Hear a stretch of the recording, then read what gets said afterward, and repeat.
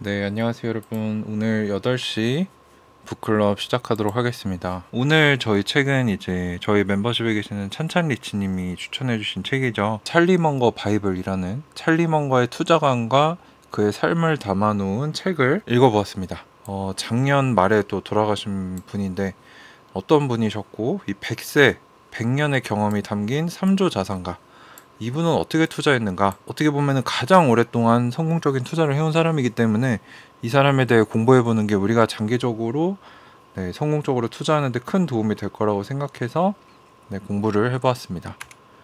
자, 그래서 찰리 먼거 어, 이렇게 생기셨죠. 젊은 시절에 굉장히 잘생기셨더라고요. 그래서 미국의 변호사 출신 투자자이자 기업인이셨는데 무엇보다 우리에게는 버크셔에서의 부회장으로 재직하면서 이 시대 최고 투자자로 불리우는 워렌 버핏의 오른팔로 활약했다라고 알려져 있습니다. 24년 1월 1일에 출생을 하셨고 23년 11월 28일에 향년 99세 타계를 하셨고 이때 자산이 3.5조가 돼서 뭐 전 세계 안에서도 손에 드는 부자였던 거죠. 그래서 오마하 출생이시고 버크셔 본부가 있는 오마하 미시간 대학교에 입학을 해서 수학을 전공하시던 중에 중퇴를 하고 2차 세계대전에 공군 장교로 복무를 합니다. 그래서 이때 기상 예측 장교로 근무를 하셨고 그러다가 이제 캘리포니아 공과대학에서 기상학으로 졸업을 했고 그 다음에 하버드 대학교에서 로스쿨을 굉장히 우수한 성적으로 졸업을 했다라고 합니다. 그래서 로스쿨을 졸업을 했으니까 변호사 생활을 시작을 했겠죠. 근데 그 당시에는 변호사 수입이 굉장히 적었다고 해요. 근데 거기다가 첫째 아들인 테디 먼거가 이제 백혈병에 걸려서 1년 만에 사망을 했는데 치료비로 전 재산을 날렸다고 합니다. 그래서 이때부터 돈이 되는 투자업에 종사하기 시작하다가 이제 35세 때 아버지가 돌아가셔서 아버지도 지역 판사셨던 것 같아요. 그래서 이분의 법률 사무소를 정리하러 오마에 갔다가 당시 이제 29세 버핏 청년 버핏을 만나서 평생 친구가 됐습니다. 그래서 64년을 함께 한 거죠. 그래서 어마어마한 세월을 함께 했기 때문에 아마 찰리 먼거가 떠난 후에 바로 어제 워렌 버핏이 또 홀로 버크셔스의 주주총회를 주관을 하셨는데 그때 아마 쓸쓸함이 많이 묻어나왔던 것 같습니다. 저도 이제 작년에 이제 버크셔스의 주주총회를 직접 갔다 왔기 때문에 좀 굉장히 좀 마음이 무겁더라고요. 돌아가셨다고 하니까 그때 이제 마지막이겠거니 했는데 진짜 마지막이 됐던 겁니다. 두 사람이 같이 나오는 게 그리고 이분이 1972년에 찰리 멍거가 주도했던 일이 뭐냐 캘리포니아의 캔디 업체인 시즈 캔디라는 회사를 되게 별 볼 일 없어 보였는데 2,500만 달러 인수를 했는데 매년 버크셔에 20억 달러 이상의 매출을 가져다 주고 있습니다. 그래서 뭐 2조 이상의 어마어마한 돈을 매년 주고 있다. 엄청나게 성공적인 투자인데 이걸 이제 찰리 멍거가 주도를 했다는 거죠. 그리고 2008년에는 버크셔가 중국의 전기차 업체인 비와디에 2.3억 달러를 투자할 수 있도록 설득을 해서 20배 이상의 수익을 냈다. 그래서 이런 투자를 할 때 찰리 먼거가 워렌 버핏에게 이거 한번 해보자라고 해서 성공적으로 이끈 이력들이라고 하고요. 그래서 버핏은 1977년에 자신과 먼거는 소름 끼칠 정도로 생각이 너무나 비슷하다라고 얘기하기도 했고 2018년에는 버핏이 먼거와 알고 지낸 60년간 한 번도 말다툼을 한 적이 없었다. 찰리는 나를 더 나은 사람으로 만들어 주었고 덕분에 더 나은 삶을 살았다라고 고백하기도 했습니다. 그리고 먼거는 모든 현명한 투자는 가치 투자, 즉 지불한 것보다 더 많은 것을 얻는 것이다. 한마디로 정의를 해줬죠. 우리가 무슨 투자를 해야 되는지.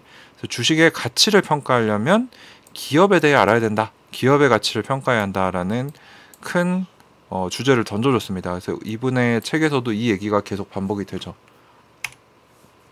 그래서 찰리 먼거와 워렌 버핏이 같이 앉아 있는 사진인데 먼거와 버핏의 관계는 뭐 상하 관계라기보다는 이제 찰리 먼거가 워렌 버핏의 조언자 역할을 많이 했습니다. 어드바이저였던 거죠. 그래서 버핏은 자신의 의사결정과 사고에 오류가 없는지 파악하기 위해 찰리 먼거에게 적극적으로 조언을 구했고 여기에 이제 먼거가 굉장히 현명한 조언들을 많이 해줬다고 합니다. 그래서 버핏에게 먼거는 내 오류를 잡아줄 수 있는 친구라는 점에서 굉장히 독특한 관계였다는 거죠. 그래서 버핏은 원래 벤저민 그레엄이라는 이 무조건 싸게 사야 된다. 라고 이게 가치 투자자의 창시자인데 이분의 스타일의 투자법을 가져가고 있었는데 이 투자법의 한계를 뚫고 무조건 싸게 사는 게 아니라 훌륭한 기업을 찾아내야 된다. 그리고 오래 함께해야 한다라는 스타일의 투자법을 찰리 먼거를 통해 가지게 된 겁니다. 그래서 워렌 버핏은 아, 기업의 가치보다 싼 가격에 사야 된다. 이것만 가져가고 있었는데 찰리 먼거가 아, 훌륭한 기업이면은 조금 더 비싸게 주고 사도 된다. 그래서 이제 애플 투자 같은 것도 할 수 있었던 거죠. 그래서 이제 워렌 버핏의 투자관을 완성시켜준 인물이 찰리 멍거다라고 볼 수 있는 겁니다. 상당히 중요한 역할을 했던 사람인 거죠. 자, 그래서 찰리 멍거 바이블을 쭉 볼 겁니다. 어, 핵심만 제가 정리를 해서 이제 빠르게 저희가 리뷰를 해볼 건데 어, 찰리 멍거 핵심은 뭐냐? 돈을 번 사람은 자주 베팅하지 않는다. 이건 이제 얼마 전에 저희가 인터뷰로 봤던 500만 원으로 200억 이상을 주식 투자로 불리신 포세이돈 님도 비슷한 얘기를 했습니다. 너무 단타하지 말아라. 길고 크게 베팅해야 된다라고 얘기를 하셨고 가격이 잘못 매겨진 베팅을 발견할 때까지 꿈쩍도 하지 않는다. 찾으면 여기에 적극적으로 뛰어들어야 된다는 거죠. 그래서 뭐 예를 들어서 우리는 이제 아이온큐 투자를 할 때 아이온큐가 10년 뒤에 10배, 100배 될 기업인데 지금 가격 저렴하다라고 보면은 그건 역시 가격이 잘못 매겨진 도박이다라고 보고 투자를 한다. 이런 식으로 저는 응용을 하고 있습니다. 그리고 먼거는 버크셔가 대부분 돈을 상위 10개에 투자해서 비롯됐다라고 강조를 했습니다. 그래서 이런 평생을 바쳐서 찾아낸 기회에다가 크게 베팅을 했다는 거죠. 이게 뭐 코카콜라, 질레트, 애플과 같은 투자 이야기다. 그래서 버핏 같은 경우는 우리가 평생에 20번의 투자 기회만 있다라고 생각하라고 했습니다. 그래야 우리가 정말 신중하게 고려해서 투자 기회를 가져가고 크게 투자해서 크게 좋은 결과를 낼 수 있다. 딱 20번. 그럼 만약 여러분들은 20번의 투자 기회가 있다고 하면은 아이온큐에 투자를 할 것인가? 라고 스스로 질문해 볼 수 있겠죠. 저 같은 경우면 10번, 5번이라고 해도 투자를 했을 것 같다라고 생각을 하고 있습니다. 그리고 또 찰리 먼거가 굉장히 지혜로웠던 점 중에 하나가 교만하지 말고 자신의 능력을 파악하고 그 범위 안에서만 투자해라. 자기가 모르는 건 투자하지 말라는 버핏의 이 가치관과 굉장히 똑같은 거죠. 또 비슷한 얘기를 합니다. 한가운데 들어오는 공을 기다렸다가 때려라. 이제 야구에 빗대서 얘기합니다. 그래서 어, 타율이 무려 40%였던 사람의 타자가 이랬다고 합니다. 내가 칠 수 있는 공만 쳤다. 이게 이제 투자랑 똑같다는 거죠. 버핏 역시 어, 야구처럼 내가 잘 아는 분야에서 기다렸다가 기회가 오면 거기에 전력을 다해서 치라는 거죠. 근데 이제 심지어 투자는 야구보다 더 유리한데 삼진아웃도 없고 필요한 공이 올 때까지 얼마든지 기다렸다가 기회가 왔을 때 방망이를 있는 힘껏 휘두를 수 있기 때문이다. 굉장히 시사하는 바가 크죠. 우리 능력 범위 내에서 내가 기다리는 기회가 왔을 때 베팅을 한다. 버크셔의 그 엄청난 자산을 일군 비, 비결이 이거라는 겁니다. 그래서 자신의 게임을 정의해라. 나는 어디에 투자할 것인가? 나는 어디에 강한가? 뭐 저 같은 경우는 이제 IT 분야에 전공을 했고 미국에서 유학을 하고 일도 해봤기 때문에 외국 기업에 반도체 또 더 나아가서 양자 컴퓨터 기업에 투자를 하는 거고 내 장점이 어디에 있는가를 아는 것이 대단히 중요하다. 그래서 내 능력 범위 안에 올 때까지 기다려야 그때 잡아야 된다는 거죠. 근데 평생에 20번이 오지 않는다는 겁니다. 이때 우리가 기회를 잡을 때 훨씬 좋은 수익률을 올릴 수 있고 이것이 이제 버크셔가 엄청난 제국을 건설한 비결이다라고 얘기하고 있습니다. 이 부분이 굉장히 중요합니다. 자, 그래서 찰리 먼거는 투자 프로세스를 4단계로 나눴는데 첫 번째는 잘 아는 분야에 집중한다. 투자 범위를 나에게 간단하고 이해 가능한 대상으로 한정을 하고 어떠한 환경에서도 지속 가능한 이해하기 쉬운 독점적인 지위를 가진 기업에 투자하라. 두 번째는 이제 그런 기업을 찾아내면은 정성적 전략적으로 이제 회사의 뭐 매출이나 현금, 뭐 영업이익 이런 것들을 체크해보고 경영진을 평가해야 된다. 경영진이 중요하다라고 합니다. 굉장히 이게 신기한 게 저도 항상 말씀드리는 게 어, 스타트업 투자할 때는 경영진이 전부다라고 말씀을 드렸잖아요. 그래서 경영진이 굉장히 중요하다. 경영진이 능력이 있는지 신뢰할 수 있는지 주인의식을 가졌는지 이 면에서는 저는 아이온큐는 거의 100점이라고 봅니다. 능력 있는 CEO 그리고 항상 했던 말을 지켜온 CEO 그리고 이제 굉장히 큰 지분을 가지고 있으면서도 이사회 의장 자리를 꿰찬 CEO 이런 면에서 아, 아이온큐가 이런 면에서 봤을 땐 괜찮구나라고 생각을 할 수 있는 거고 3단계는 경쟁 우위 해자라고도 하죠. 그래서 지속 가능성. 그래서 이 회사가 다른 경쟁자가 진입을 못하게 하는 이런 뭐 생산 원가가 낮은가? 아이온큐가 지금 하고 있는 거죠. 브랜드 파워가 있는가? 규모의 이점이 있는가? 규모의 경제, 대량 생산. 기술 우위가 있는가 이런 것들이 있는 기업인가를 체크를 해봐야 된다는 거죠.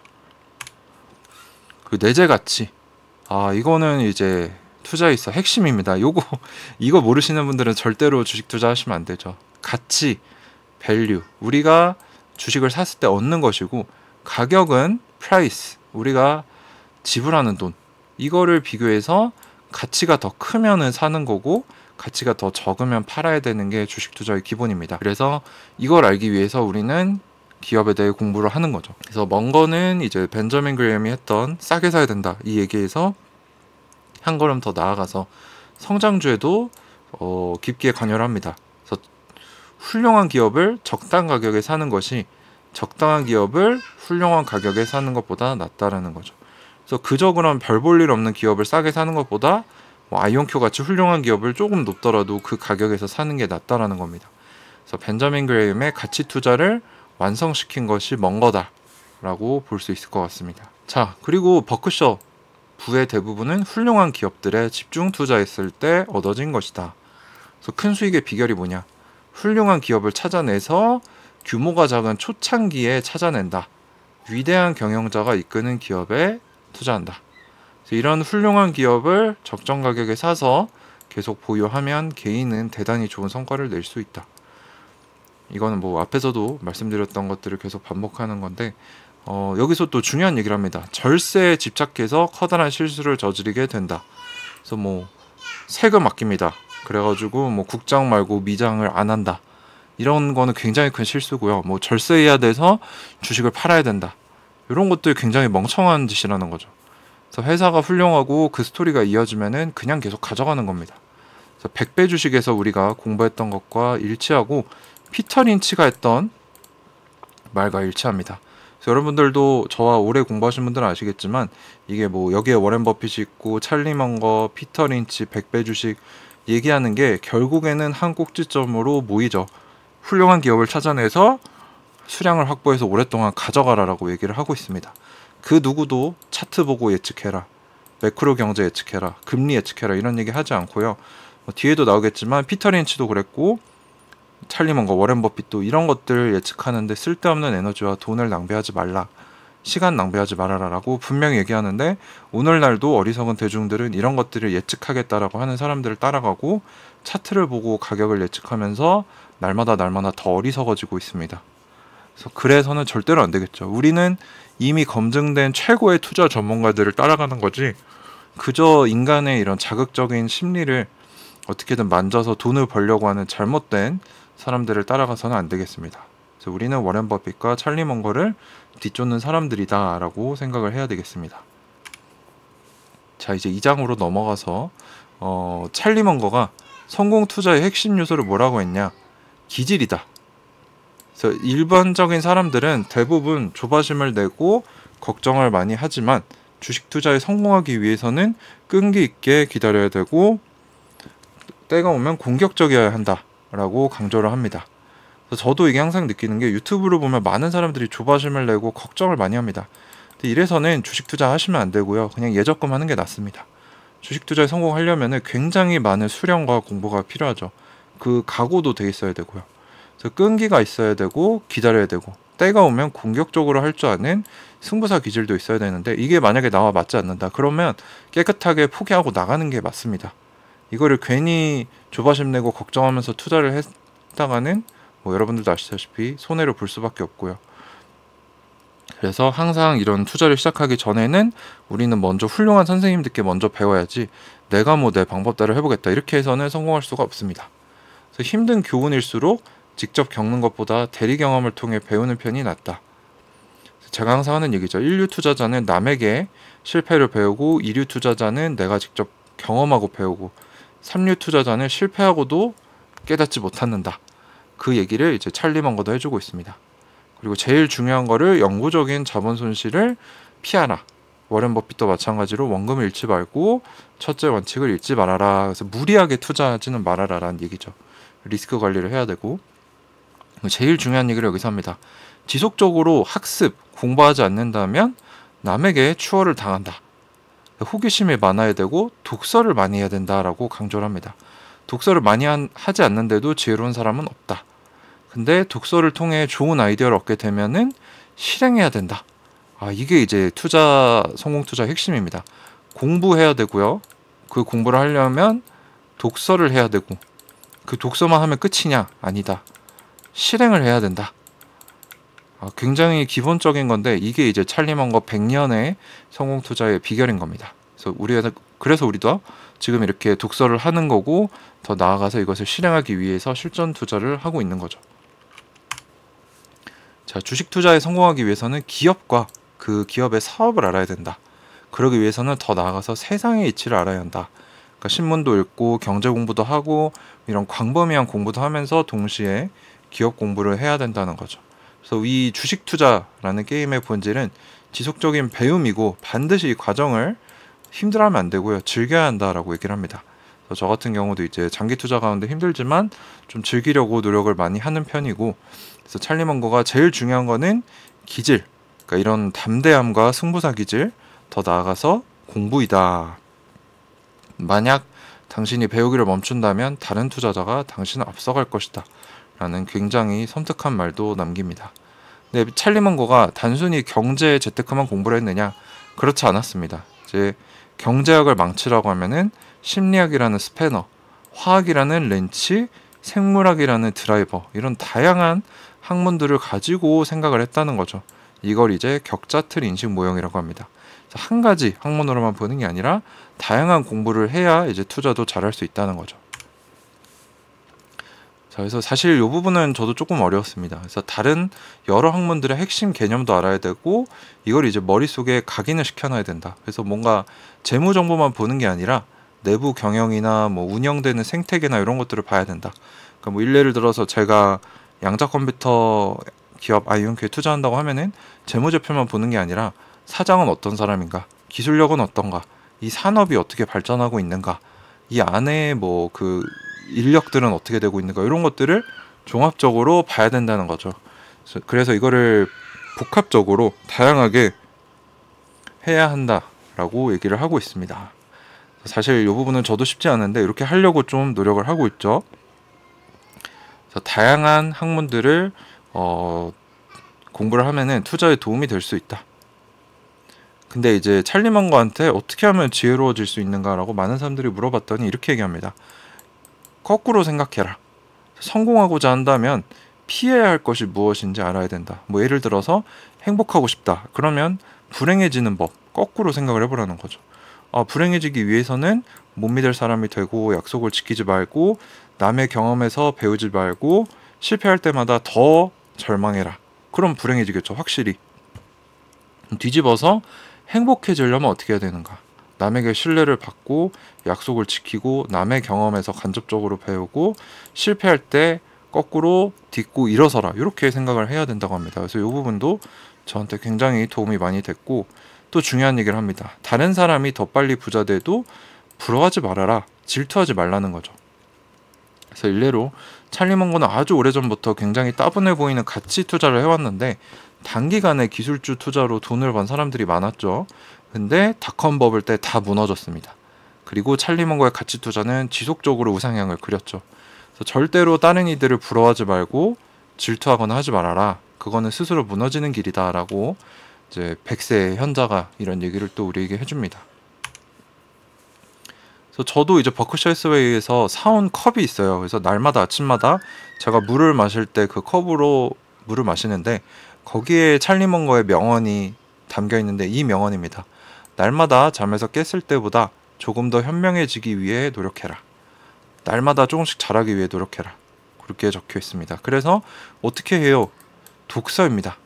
그래서 우리가 적지만 한 달에 한 권씩 이렇게 독서 모임을 통해 책을 읽고 있는 거죠. 그래서 뭐 저희 멤버십에도 수백 명의 사람들이 있지만 이거를 제가 독서 모임을 만들어서 참여하는 사람은 아마 10%도 안 될 거예요. 그래서 여러분들은 이미 상위 10%에 또 상위 10%입니다. 그래서 저는 여러분들이 상위 1%라고 생각을 하고 있다는 거죠. 자, 그리고 또 여기에 무슨 얘기를 하냐? 거시경제 변수에 대해서는 찰리 먼거나 워렌 버핏은 예측하지 못한다라고 얘기를 합니다.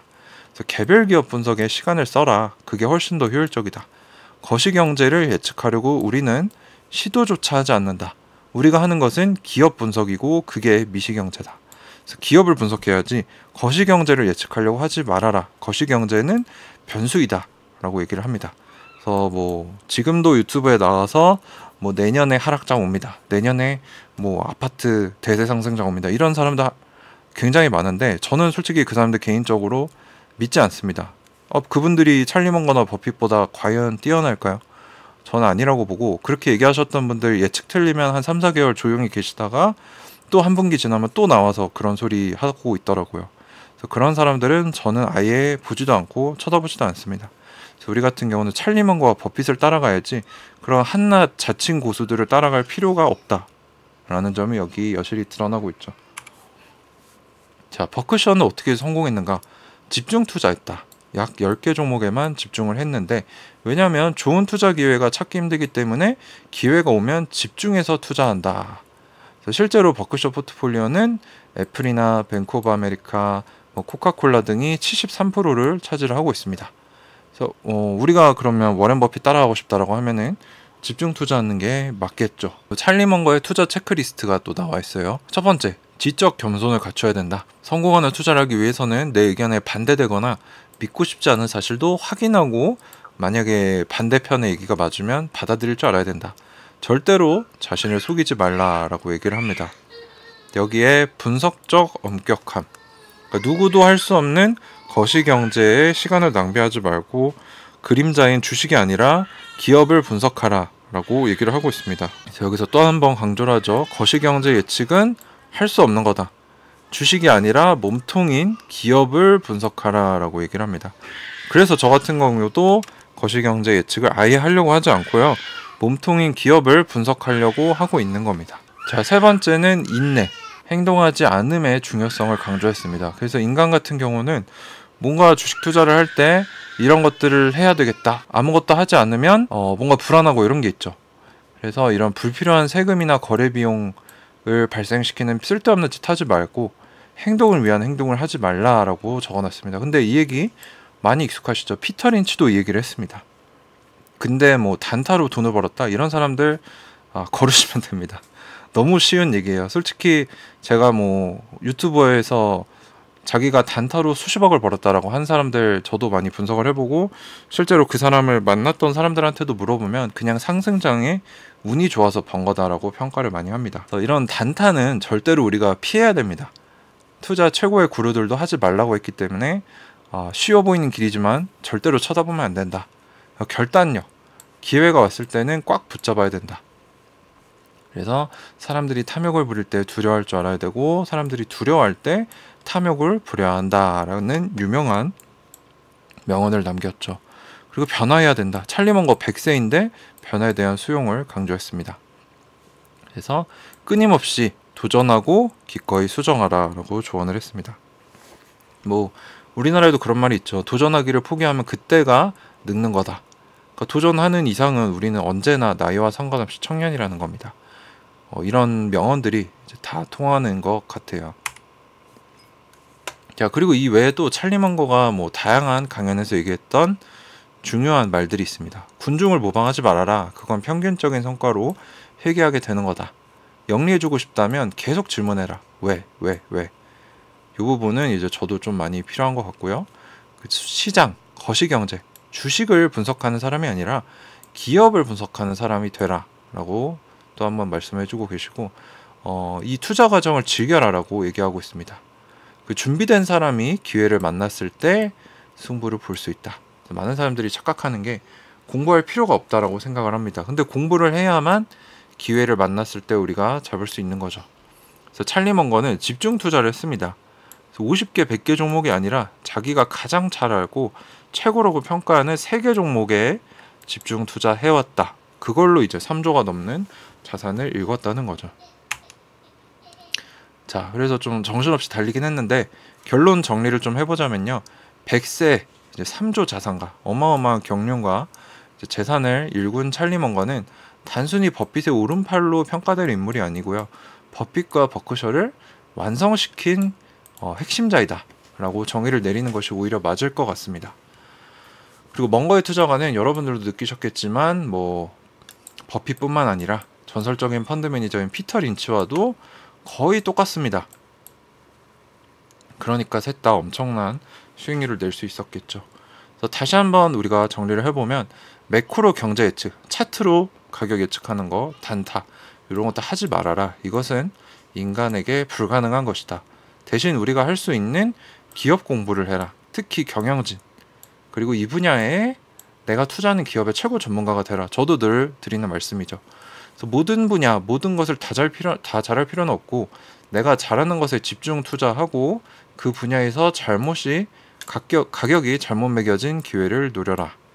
그리고 이 기회가 오면 크게 베팅하라는 거죠. 끊임없이 호기심을 가지고 독서 공부하라. 이것이 투자의 핵심 성공 비결이다. 중요하지 않은 것에 시간과 기회를 날리지 말자. 뭐 남들을 질투하는 것, 절세 때문에 주식을 파는 것, 교만함을 가지는 것 등 이런 것들은 버려야 된다. 자, 그래서 그 엑기스를 또 한 번 줄여서 최종 결론을 내려보면 숨겨진 비법 따위는 없습니다. 여러분들 뭐 누가 뭐 3개월 안에 두세 배로 불려준다 이런 건 세상에 없습니다. 그 차트로 가격 예측하는 거 이런 것도 불가능하다.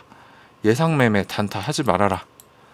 오직 워렌 버핏과 찰리 먼거 또 피터 린치가 어마어마한 자산과 그 제국을 건설할 수 있었던 것은 기본에 충실했던 겁니다. 꾸준한 기업 공부, 내가 잘하는 것에 집중 장기 투자했을 때 버크셔가 읽어진 거고 우리가 그것을 따라할 때 인생을 바꿀 불을 거머쥐게 될 것입니다. 어떻게 보면 굉장히 실망하실 수 있어요. 너무나 당연한 얘기인데 사실 이 당연한 얘기를 오랫동안 지키는 사람이 거의 없습니다. 그래서 저희들 같은 경우도 제 채널이나 제 멤버십도 이런 찰리 먼거와 워렌 버핏 그리고 피터 린치 책을 우리가 제일 먼저 읽었잖아요. 그래서 그분들의 투자관을 가지고 우리가 집중 장기 투자를 해보고자 하는 그런 진짜 짤짤이로 돈 조금 용돈 버는 게 아니라 내 인생을 바꿀 부를 목표로 주식 투자를 하고 있는 거죠. 그래서 우리는 진짜 애매한 뭐 자칭 고수 이런 사람들이 아니고 누구나 인정할 수 있는 최고의 투자 전문가들 워렌 버핏, 피터 린치, 찰리 멍거 같은 사람들에게 배우고 그것들을 우리 투자에 적용해서 나아가고 있는 겁니다.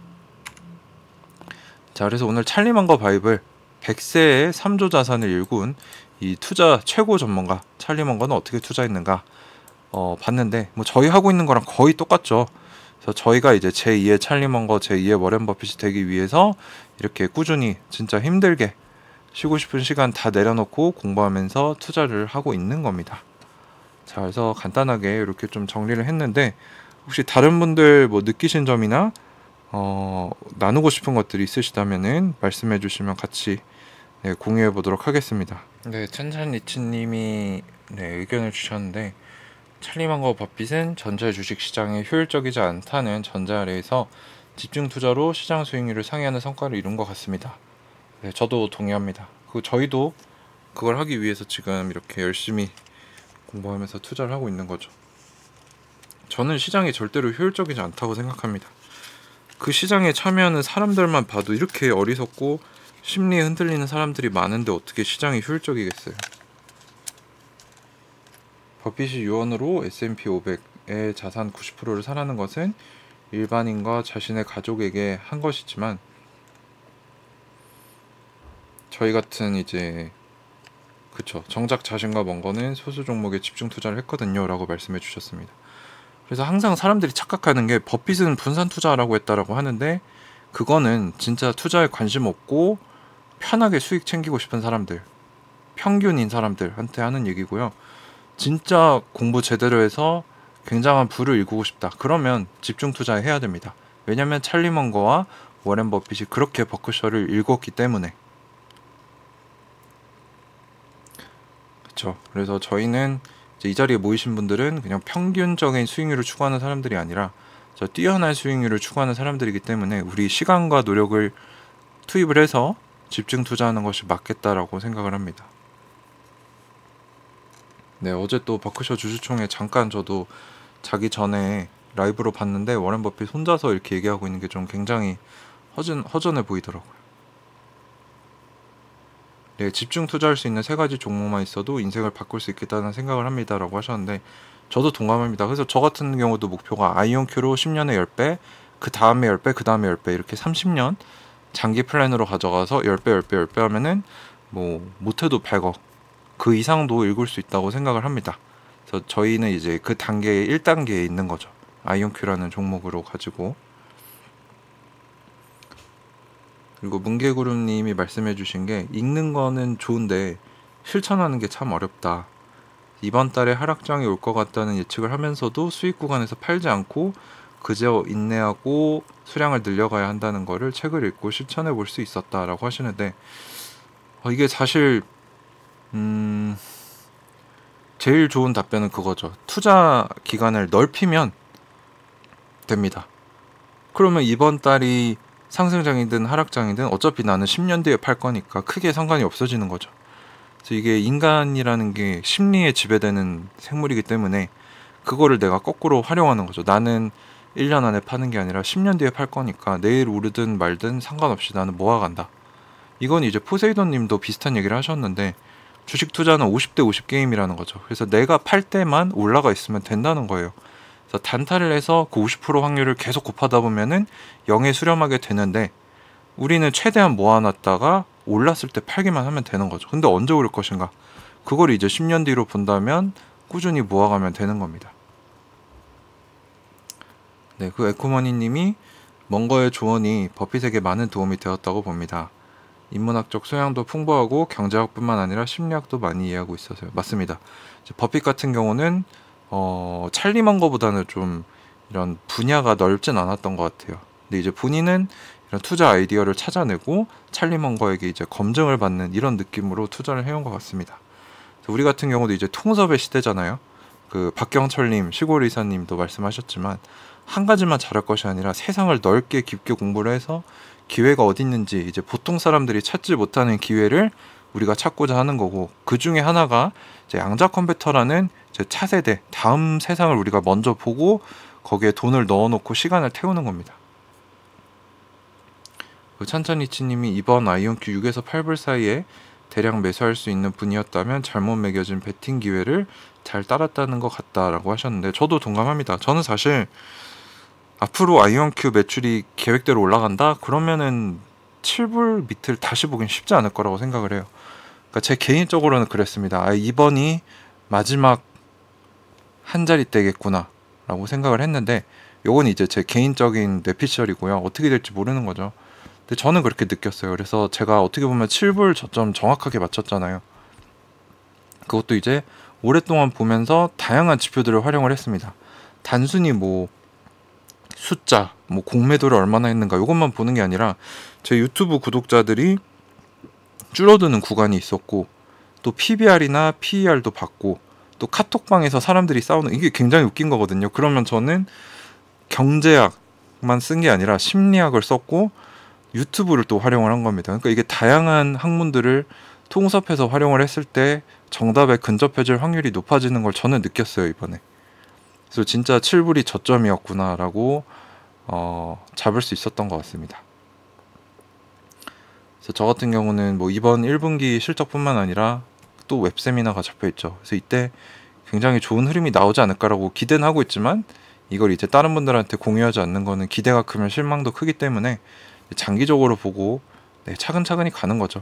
근데 저희가 이제 지금 멤버십에서 저희 연례 보고서 공부도 하고 있지만 거기서 굉장히 자신감 있는 표현들이 많이 나오잖아요. 그래서 저는 그걸 보면서 더 이 회사에 대해 확신을 가질 수 있었습니다.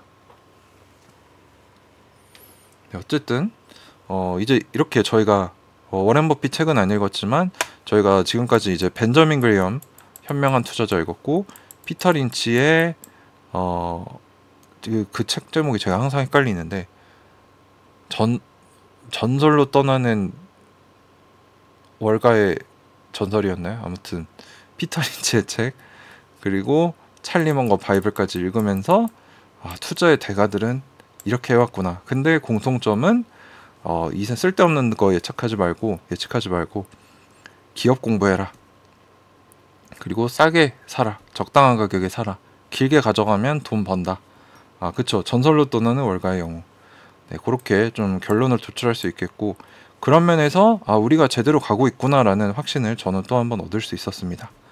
네, 그래서 저희가 다음 책의 지금 뭐였는지 제가 정확히 기억이 안 나는데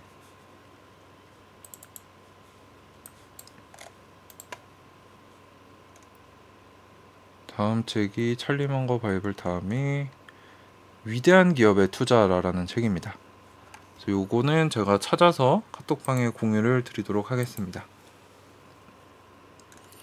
네, 그래서 한 달간 또 열심히 이 책을 독파하신 분들께는 정말 축하드린다라고 말씀을 드리고요. 저희가 또 네, 한 달 동안 열심히 읽고 다음 북클럽 라이브에서 뵙도록 하겠습니다. 네, 위대한 기업의 투자라가 맞는 것 같거든요. 이때 투표 결과를 보면은 찰리먼거 13. 아 필리피셔네요. 또 필리피셔도 어마어마한 사람이죠. 이제 피터 린치 버금가는 굉장히 유명하고 뭐 지금도 현역으로 계시는 분이니까 그분의 책을 읽어보면은 뭐 제가 유추하건대 비슷한 결론을 얻게 될 것 같습니다. 이렇게 이제 투자의 그루들 대선배들의 책을 읽으면서 우리의 투자관을 바르게 가져갈 수 있는 거죠. 네, 그럼 그렇게 정리를 하고 저희 또 9시에 주주 사안이 있으니까 잠깐 쉬었다가 9시에 라이브 재개하도록 하겠습니다. 네, 고생 많으셨습니다, 여러분. 다음 달도 이번 달도 책 열심히 읽으시고 네, 모두 책을 끝낸 상태로 다시 만나서 다양한 의견들 주고받으면 좋겠습니다. 그러면 잠깐 휴식하고 9시에 다시 뵙도록 하겠습니다.